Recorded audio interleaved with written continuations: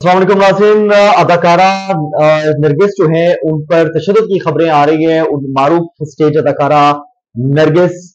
जिन्हें शोहर की जानब से जो है वो तशद का निशाना बनाया गया है। मुबैना तौर पर जो है तशद की खबरें सामने आई हैं और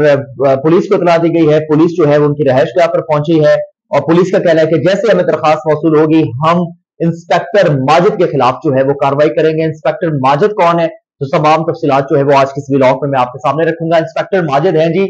मारूफ स्टेज अदाकारा नरगिस के शोहर, जिनसे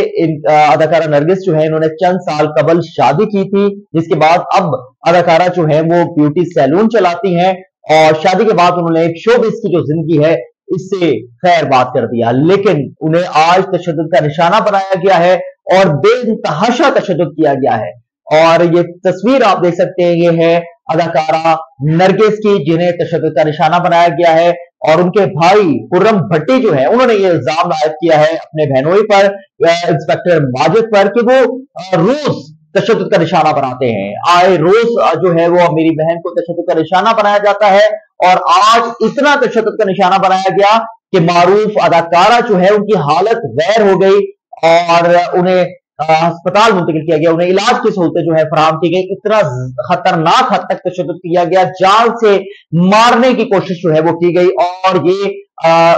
जो खुरम भट्टी जो कि भाई है अदाकारा के उनका उन्होंने इल्ज़ाम किया उनका कहना है कि आए रोज मेरी बहन को तशद का निशाना बनाया जाता है इंतहा कर दी जाती है तशद की। और जिस पुलिस का ये कहना है पुलिस वन फाइव पर जो है वो इतला दी गई डिफेंस में वन फाइव पुलिस को इतला मिली और इवन गार्डन जो है वो पुलिस फौरी तौर पर जो है वो कार्रवाई के लिए पहुँची। पुलिस का ये कहना है कि जैसे ही हमें दरख्वास्त मौसू होगी, कानून सबके लिए बराबर है, चाहे कोई इंस्पेक्टर हो या डीएसपी या कोई डीपीओ अगर कोई जुर्म करेगा तो पुलिस जो है वो उसे कानून के मुताबिक जो है वो सजा देगी और कानून के मुताबिक जो है मुकदमा दर्ज किया जाएगा। ये खबर जो है वो इस वक्त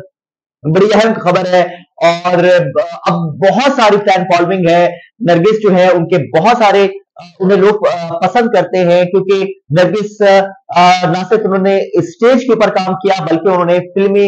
दुनिया में भी जो है, वो अपनी अदाकारी के जोहर जो है, वो दिखाए हैं, और मारूफ एक्टर है, और मारूफ एक्टर पर जो है, वो तशद का उन्हें आज निशाना बनाने की इतलात जो है, वो मौसू हुई है, और अफसोसनाक ये वाक्य जो है, वो लाहौर में पेश आया है,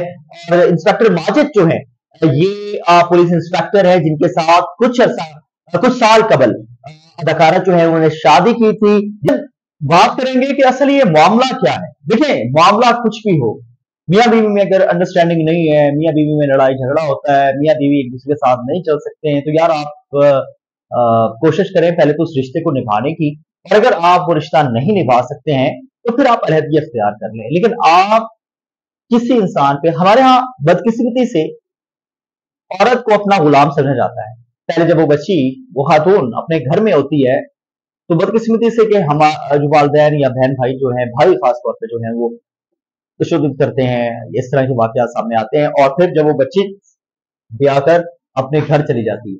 तो फिर क्या होता है कि शोहर उसका हाकिम होता है और शोहर उसे जब दिल चाहे, उसे पीट देता है, उसे तशद का निशाना बनाता है। और देखें नेक्स्ट बात, ये ये जो वाक्य अदाकारा जो नरगिस हैं, उनके हवाले से जो पेश आया है बड़ा अफसोसनाक है और मैंने एक चीज़ देखी है कि, जैसे मैंने शुरू में आगाज़ में एक जुमला इस्तेमाल किया कि बदकिस्मती से हमारे पास चाहे अपर स्टैंडर्ड के लोग हों या मिडिल क्लास हों